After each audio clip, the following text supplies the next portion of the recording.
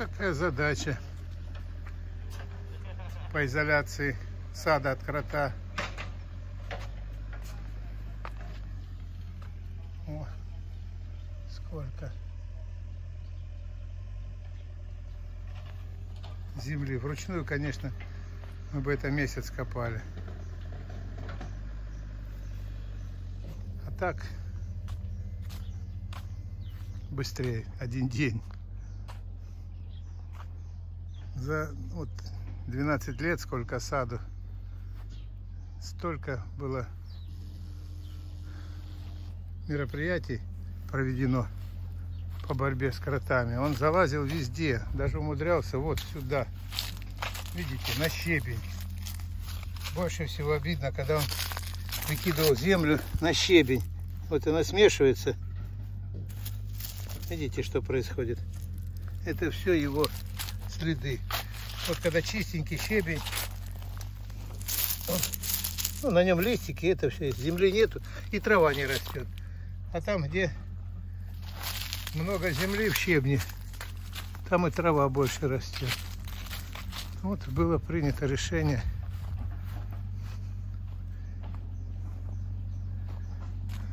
загородиться от него. А здесь, помните, сколько было кротовых этих, и говорили, что это не кротоотпугиватель, а кротоприманыватель. И он своими вылазами испортил всю дорожку. Теперь вот приходится дорожку ремонтировать. Подсыпать землю, катком укатывать. Потому что он не считается ни с чем крут. Вылазит и начинает шарудить. Ну вот, закладываем сетку. Федю поставили охранять сетку пока. Трактор, вот он. Копает за забором.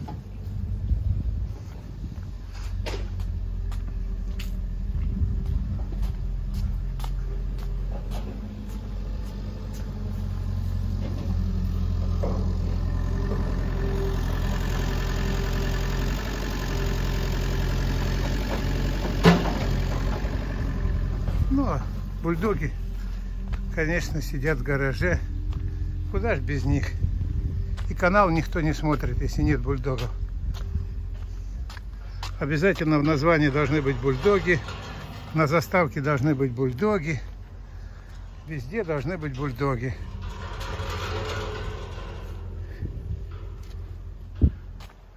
А все остальное второстепенно. Первостепенно бульдоги, второстепенно что у нас? Второстепенно выглядывает меня. Ждут. Почему ж ты хозяин нас не пускаешь в сад а мирка? Ну что ты лапкой? Давай давай лапку. Лапку давай не морточку поприветствовала меня. Ну что? Вот у нас кругом рулоны. Компенсацию требуешь, да, Марсик? Вздыхаешь? Будет вам компенсация? Сейчас схожу в подвал и принесу компенсацию.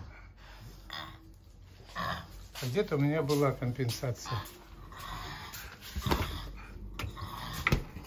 Я даже знаю, где. Вот она, видите, компенсация. Но дело в том, что... Нет, это мерзлая.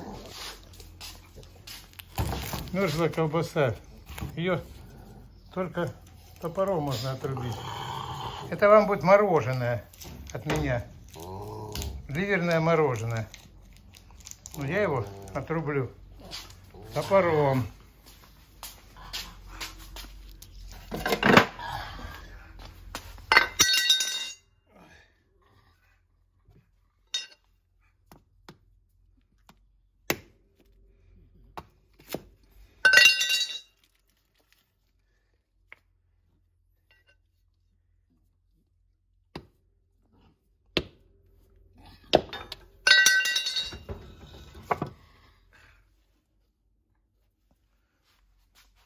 На тебе мороженое, тебе мороженое.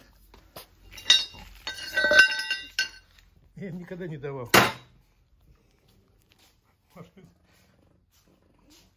Как они будут есть. А это я положу назад. Когда жарко, я буду им давать. Не, вот здесь где-то были. Два кусочка вместе. А быстро не съешь. Мирка, не торопись. Марсик, ты тоже не торопись. Миронька. Ну представь, что это мороженое, собачье мороженое. Ливер на колбаса замороженная.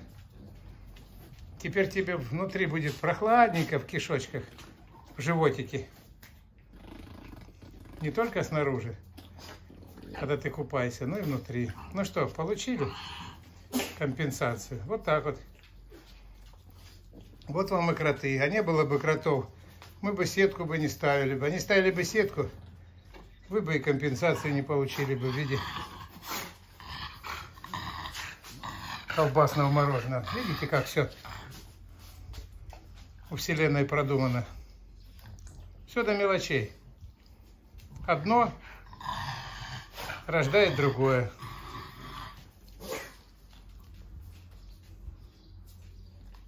Как говорит, не было несчастья, не было бы счастья, да несчастье помогло. Так вот и у вас.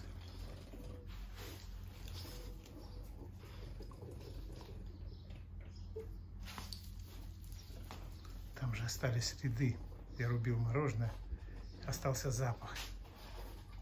Теперь он мне не дает покоя. Пока не выветрится, они будут вокруг этой колоды ходить. Ну что, земляне, вы согласны со мной, что иногда неудачи являются открытыми воротами к успеху. Не было бы счастья, да несчастье помогло.